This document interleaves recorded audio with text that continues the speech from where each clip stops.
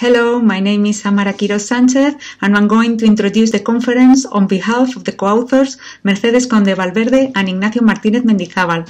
We are part of the Life Science Department of Alcalá de Henares University in Madrid, Spain. We are going to present a comparative study of the inner ear in the Homininae subfamily.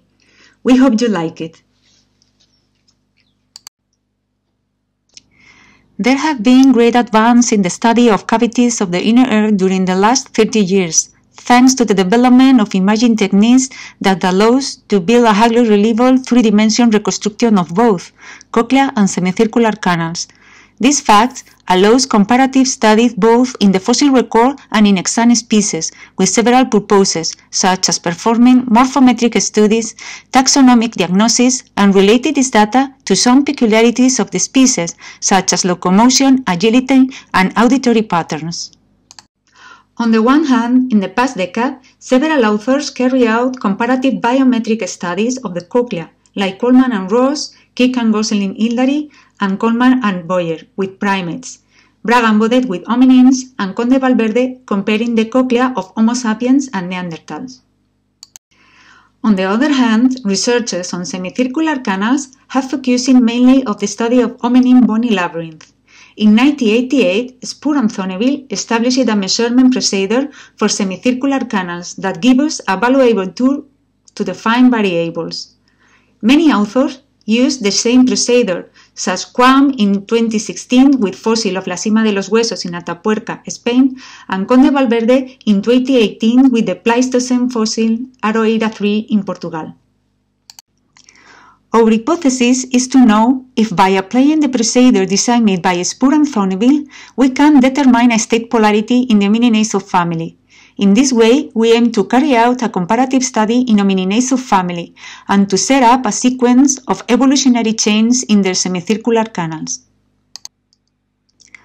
For the comparative study, we have a sample of 23 crania of gorilla gorilla, 11 Pan troglodytes, and 26 specimens of Homo sapiens. Thus, to perform the phylogenetic analysis, we have to define the character present in the semicircular canals of our sample using biometric techniques. To determine the state polarity, based on the commonly accepted systematic for primates, we decide to use the outgroup criterion formed by species where the primitive set of threads are present. And after all this process, we can propose a polarity of state and a sequence of evolutionary chains. This is a cladogram of primates, and as we can see, to determine the outgroups, we choose groups that belong to the same clade, and therefore they are closely related. On the one hand, the species belonging to Cercopithecoidea superfamily, and on the other hand, individuals of the hominoid superfamily that not belong to the hominin subfamily. We get the data provided by Spoor and Zonneveld research in 1988 for the outgroups, Therefore, for the hominoid superfamily, we have seven specimens of Pongo pygmaeus and two specimens of Hylobates syndactylus. And for the Cercopithecoidea superfamily, three individuals of Macaca fascicularis and one individual of Mandrillus sphinx. As that paper only offers data from one individual of this species, we decided to add three more individuals to our study. For this purpose, we performed CT scan of the right temporal bone of the three Mandrillus sphinx specimens to obtain the 3D model of their semicircular canals. The process of reconstruction of 3D model from radiological image is very laborious, so we have summarized it in three fundamental steps. First, we need to set up the limit between bone and air cavities to define the structure under study. Second, we have to segment image by image. Three, we build the 3D model. On CT image, we delimit petrous bone areas in white and cavities areas which are colored air in black, using the procedure established by Coleman and Colbert based on a grayscale according to a previous threshold. So, working with Mimic software, we create a working mask to fill the cavities with color, image by image. Finally, the sum of all those images generates a 3D model on which we can take measurements directly. We took absolute measurement by applying Spoor and Zonneveld procedure. Then, we calculate the size and shape index that we will later use for our study. That is the relative size of the anterior, the lateral, and the posterior semicircular canals, the shape index of the anterior, lateral, and the posterior semicircular canals, and the sagittal index of the labyrinth.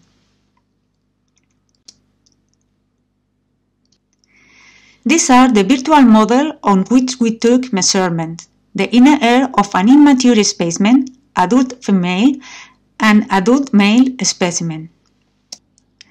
To analyze the data obtained, we first performed a univariate analysis. Due to the great extension of the result obtained, we will only expose those that are the most representative of each index study. In the graphs, the means of each species, the standard deviation, and the range of each species are represented. The specimen of Mandrillus sphinx are represented by a red rhombus for the immature individual, a red square for the adult female, and a red triangle for the adult male. As we can see, in the graph of the relative size of the anterior semicircular canal, the T-student test shows that there are significant differences between the three samples, which concurs with the separation between the species in the graph. Regarding the shape index of the lateral canal, we observe wide areas of overlap in the graph of average. We saw that there are no significant difference between the three samples studied. Finally, in the graph of the sagittal index of the labyrinth, we observe that there are significant differences between gorillas and humans, chimpanzee and humans, but not between gorillas and humans.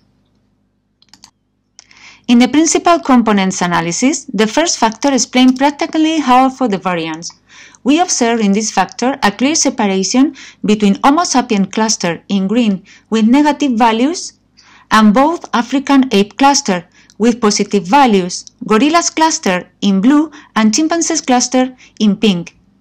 Due to the effect of the relative size of the anterior and posterior canal with high values on the lateral canal with low values to the more rounded shape of the anterior canal and to ASLI with higher values in Homo sapiens. Larger lateral canals predominate in gorillas and chimpanzees. Concerning to the outside group, two individuals of Mandrillus sphinx are included in a key probability ellipse of gorillas, and one of them is located in the area of intersection between humans and chimpanzees. This is the proposed table of state present based on our sample and on measurement of Mandrillus sphinx as an outside group.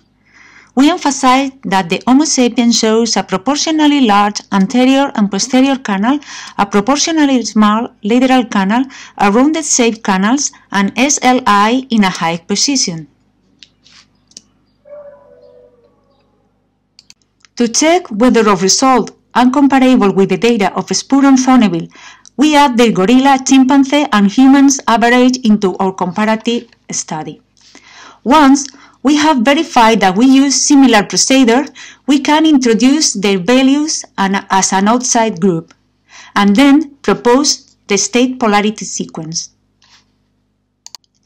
In our result graph, we have included the values of gorillas, chimpanzees, and humans from Spoor and Zonneveld and the data of the outgroups both of the superfamily Hominidae and the superfamily Cercopithecus.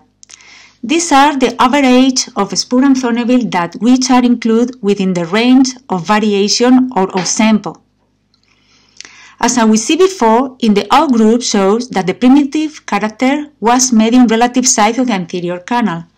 According to the result of our study, we propose two derived states a small relative size in gorillas, and a large relative size in humans. As we can see in the graph, there are no significant difference between the specimen under study, and they all coincide in the area of influence of the external groups. Then, about the relative size of the lateral canal, there are no changes concerning the primitive state. Concerning the sagittal index of the labyrinth, we can see the areas of overlap between gorillas and chimpanzees, where the outgroups are positioned, but there is a clear difference between both groups with humans.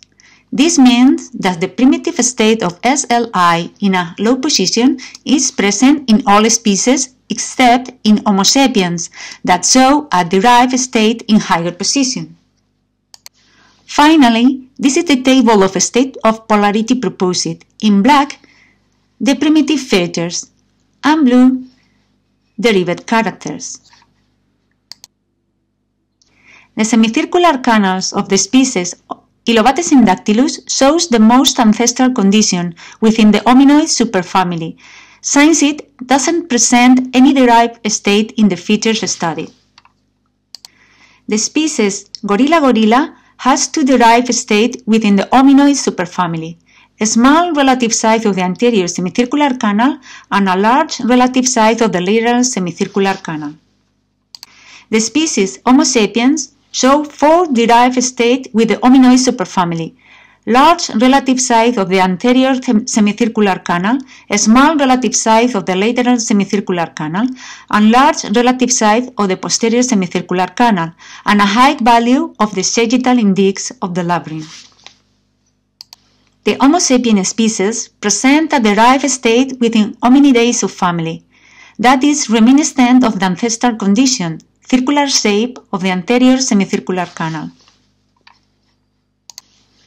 Hominidae family, except Homo sapiens, has an oval anterior semicircular canal, which constitute a derived state from Catarrhine infraorder. And that's all. Thank you so much for your attention and to Bioant Talk for the opportunity to participate. Bye.